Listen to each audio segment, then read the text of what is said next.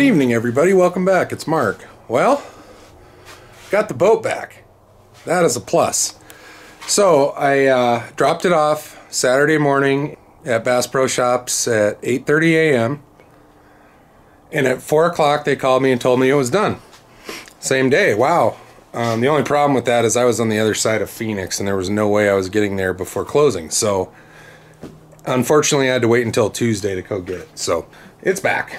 Uh, at any rate, we do know the culprit, and uh, I'll share it with you because if it ever happens to you, you might uh, you might have an avenue to look uh, into the issue, and maybe it'll help. So here we go.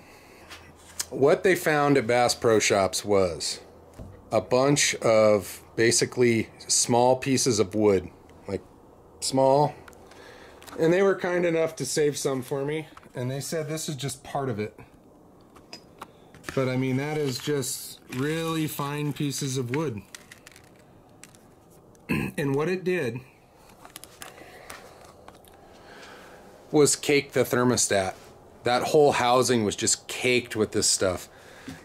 On my previous video, you can see this stuff floating on the water right next to the dock and it sucked it right up.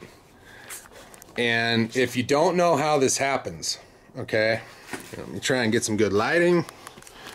What happens is these holes down here, they suck the water in and anything that's in it.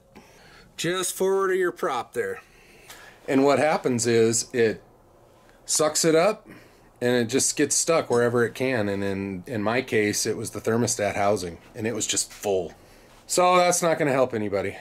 So at any rate, um, I asked what I could do to prevent this, and they said stay away from crappy water. So there you have it. And I probably don't disagree. I think it's pretty sound advice. Kudos to the dudes at Tracker uh, up at Mesa Bass Pro Shops. I mean, they're first class. Um, they've always been good to me. So thanks, fellas. Oh, I'll show you where the thermostat is in case you don't know. Hold on. All right, you just want to simply take the head of your, the shroud of your motor off.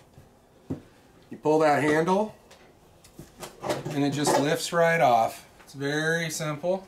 It's very light. I don't recommend doing this on the water unless it's life or death. Things can happen and, you know, anyway, there it is. All right, so the thermostat housing is located right there. This bolt and this bolt and your thermostat housing comes out. In reference to that, it's straight above your check oil dipstick. You just trail it straight up from here. Boom. It's right here. And that's that. If you ever experience that Guardian feature and you know you're getting a solid tone from under the dash, that could be your culprit. I meant to ask them today if Vessel View would have caught this. Um, in my mind, I think it, it probably wouldn't have. If it sucked it all up and clogged it, Vessel View is not going to show you dirt. It will show you something if, if there's something with the motor is overheating. Nothing could have prevented this other than not being where all this...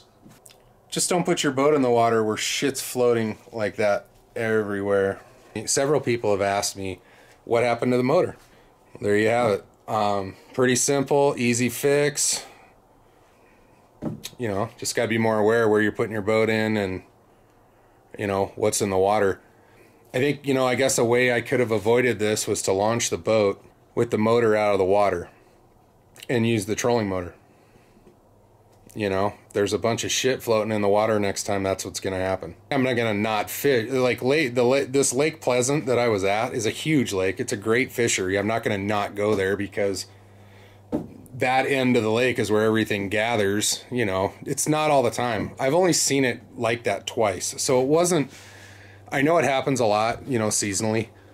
But for me, as, as many times as I've been there, it's only been really weird twice. So I'll take that. At any rate, thanks again for watching. We'll see you in the future. Good night.